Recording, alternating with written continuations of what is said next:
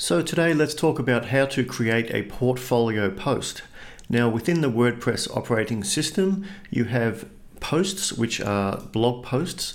You have portfolio posts, which are to showcase your latest work or your staff. We call that a portfolio. It's like a showcase item. And then you have pages. Now, they're the three basic content types posts, portfolio posts, and pages. So in this tutorial, we'll learn quickly and easily how to make a portfolio post. Now here I am in the portfolio dashboard. I've simply got there by clicking all portfolio. If you want to add a new portfolio, you simply click add new. Let's go into one I've already created here and we'll just go ahead and click edit on Daylesford Holiday Park glamping photo shoot. Now here you can see it's exactly the same uh, interface as you would have for making a page or a post item. In this case, it's a portfolio post. Now, once more, a portfolio post is something you would use to showcase your latest work or your staff member or something that's a showcase item, okay? Um, now, here we have the content. We have rows and columns.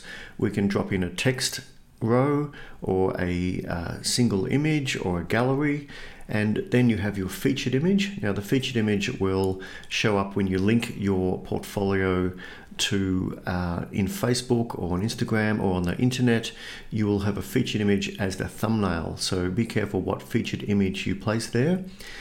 And then you need to go down to your portfolio category, and you should have categories already assigned to your portfolio, but you can choose here which category it is, whether that be photo, web, uh, you know, or what category for your particular business.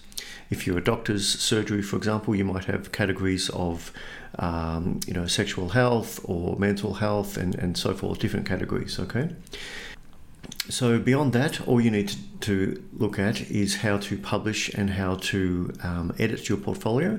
So again, we've dropped in rows. If we want to hide this portfolio from our the front end of our website, we simply go to the published status and go from published to draft and then click save or update and that will hide the content from the front end of our website and you can easily republish that at any time by clicking published and then click update again.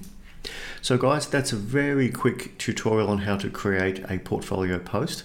If you do have any questions, please reach out via the contact uh, link on ausdigitalmedia.com. Thanks very much.